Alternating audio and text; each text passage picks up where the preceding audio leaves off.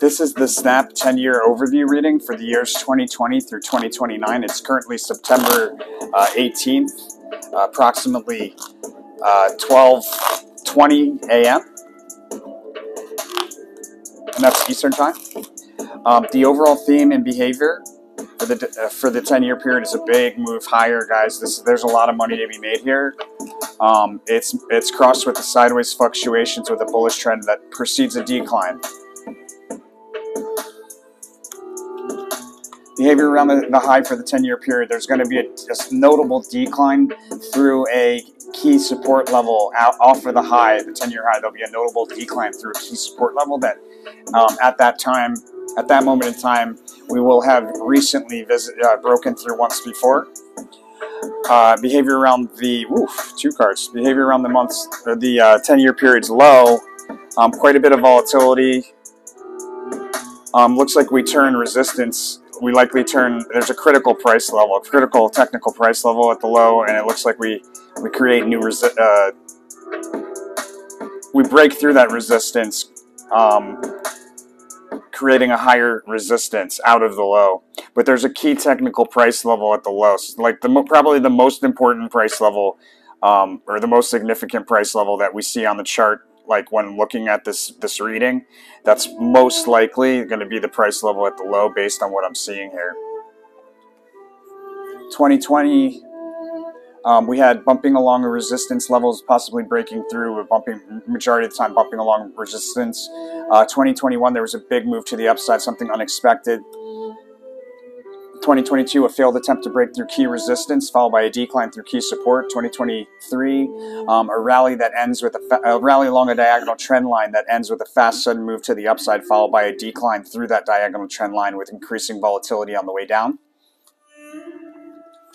2024, big, big bullish move to the upside, guys. That'll stand out significantly on a one-day, uh, on a 10-year chart or a multi-year chart, just like 2021 this this this 2024 will will, will stand out. 2025, um, we're bound by a range. Um, looks likely the upper end of a range. Uh, 2026, we have multiple headwinds pushing the stock lower. 2027, uh, major failure, major stock failure in 2027. 2028, um, we have a turnaround. There's a big move to the upside, and it'll stand out on a one, on a multi-year chart, just like the major failure will stand out on a, on a multi-year chart. But this move to the upside will be will be fully retraced back down, so it'll make like a like a triangle almost. Um, and then in 2029, we have sideways rotation along a key support level, moving higher to reach the most the, the closest significant resistance level, followed by a decline uh, back down to a slight decline back down to that support level that we it as uh, for rotation.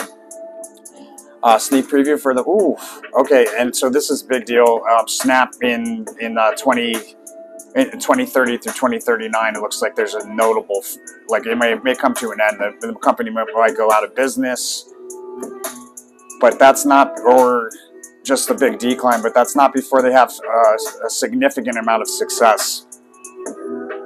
They may be they may be merged. It may not be failure or like they going out of business. Like the company just doesn't exist. Sometime in 2023, it looks like.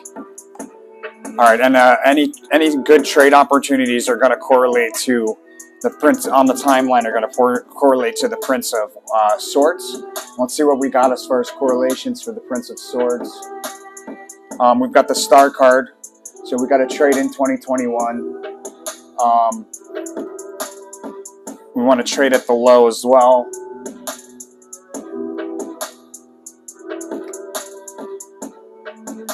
So we had a low um, in 2022.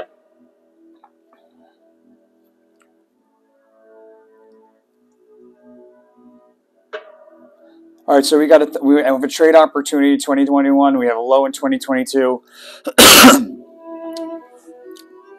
Somewhere around there is a low 2021, 2022. Um, and then behavior around the, let's see what we got here.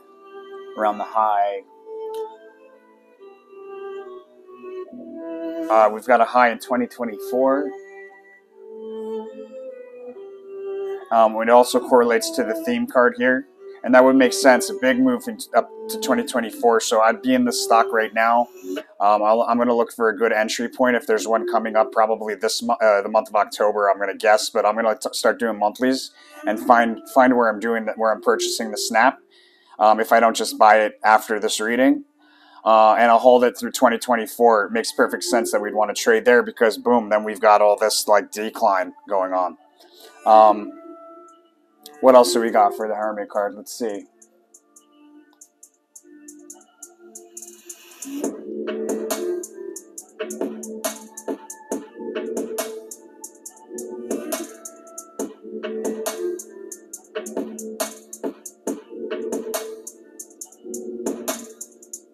All right. Well, that's uh, that's Snap.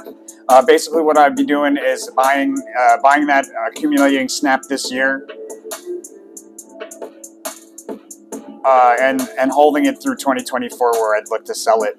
Um, let me know what you think by hitting that like button. Don't forget to subscribe. Most importantly, my friends, follow that rule of karma. Five percent of the profits forward to somebody who doesn't expect it, that needs that help. Do it. Do it secretly. They don't even need to know it's you. Like leave it out. Leave it outside. Like you know, some sleeping homeless guy or, you know, drop it in your friend's bag. Like, like it's pay it forward. It's not about them knowing. It's about giving, right? You keep the flow going. And then 5% of that profit, send it back to the channel. Help support us, guys. Keep us running, keep putting out all this free content. And we put out 70 videos last month. 70. All free.